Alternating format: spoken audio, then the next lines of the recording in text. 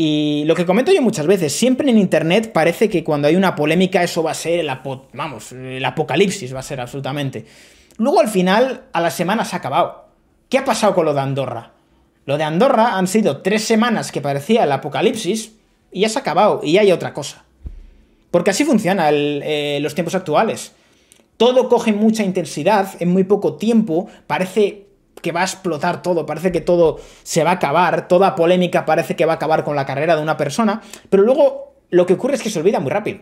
O sea, a las dos semanas ha salido otra tontería y ya estaban con otra tontería. Y así funcionan las cosas. Yo recuerdo cuando pasó lo de Logan Paul, toda la polémica de Logan Paul, que parecía que iba a acabar la carrera de Logan Paul. O sea, yo creo que había muchísima gente que creía que ya Logan Paul estaba cancelado. Logan Paul ya no iba a salir de ahí. Y Logan Paul, después de eso, incluso ha ido mucho más. Pero como bien os digo, o sea, al final todo va mucho más rápido. O sea, a día de hoy, la polémica que ha habido ayer, en una semana nadie se acuerda de ello.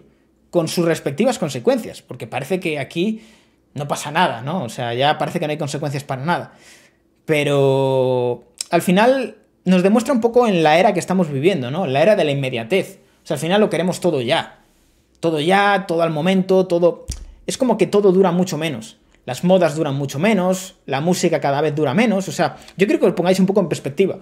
A día de hoy tenemos artistas que no paran de producir música prácticamente mes a mes. Eso antes no pasaba. Antes la industria musical funcionaba mucho por lanzamientos de álbumes. Al final había un álbum a nivel anual y ese álbum, digamos que durante el año se iban enseñando canciones del álbum y se sacaba el álbum. Pero ahora tenemos una industria de la música que parece una producción en serie. Tenemos música constantemente y la música que escuchabas hace un mes cambia absolutamente en el grueso de la que vas a escuchar en los siguientes tres meses. Es como que nos cansamos mucho más rápido de la música y queremos música nueva. Pasa mucho, es como que vivimos en una era en la cual todo tiene una fecha de caducidad más cercana. No sé si me explico. Pero pasa con todo, o sea, en general todo. Vivimos en la era de la inmediatez. Todo dura mucho menos, o sea.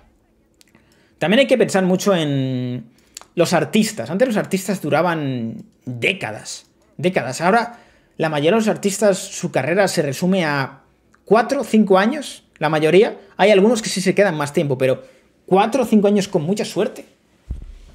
Al final, la mayoría pega un pelotazo, año y medio, dos años, y luego van cayendo. Son otros tiempos, evidentemente. Yo entiendo que pues la época de los Beatles, de los Rolling Stones y demás, pues, eran otros tiempos, pero vivimos unos tiempos en los cuales todo va muy rápido. O sea, al final todo queda atrás rapidísimo. O sea, al final es un reflejo, un reflejo tremendo de en los tiempos en los que vivimos, un tiempos en los cuales o te vas constantemente renovando o te quedas atrás. Es que día a día te quedas atrás. O sea, tú imagínate que yo hace dos años no me hubiera hecho un canal de Twitch, yo me había quedado atrás. Y menos mal que me lo hice. Y a día de hoy estamos aquí y tenemos al menos una audiencia consolidada. Pero si tú no te vas adaptando a los cambios, te quedas atrás. ¿Por qué yo le estoy dando más caña a TikTok? Porque sé que es el futuro. Y o entras o te quedas atrás. Es así. Hay que estar en movimiento. Te guste más o menos. Esto es el mercado, amigo. El mercado está en movimiento y si el mercado empieza a demandar una cosa, hay que adaptarse al mercado. Si no, desapareces. Aquí el orgullo vale de poco. El orgullo para otros. Si te duermes, te quedas fuera. Pero que esto es aplicable a YouTube, a redes sociales, a empresas, a nivel personal. Esto le puede pasar a cualquier otra persona. O sea, tú te puedes sacar una carrera, yo qué sé, eres un ingeniero aeroespacial, que si no te vas actualizando y vas día a día trabajando por estar al día, es que da igual que tengas la carrera. Lo que quiero es que tú estés al día. Es que da igual, al final estamos en un, mundo en el cual eh, estamos eh, dando a los chavales una educación que cuando acaben la carrera ya no valdrá. Porque estás educando a la gente en un mundo que ya no existe. En cuatro años ya eso no vale.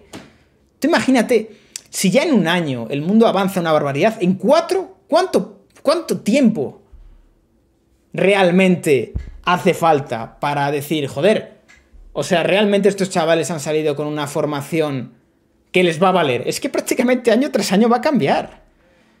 Y ese es el problema, que tenemos una educación que, no está adaptada al mundo actual. Y queremos seguir viviendo de mm, tener un sistema educativo que vale para décadas. Y la realidad es que año tras año cambia. Es que año tras año cambia. ¿Qué vamos a hacer con ello? Si entras en la carrera con un, temario y sales y ese temario ya no, no vale. ¿Por qué? Porque el mundo cambia. O sea, solo hay que ver el top de las empresas, digamos que más ricas o con mayor capitalización del mundo hace 10 años y ahora. No tiene nada que ver. Nada que ver. O sea, si te duermes como empresa, desapareces. Es así. Desapareces.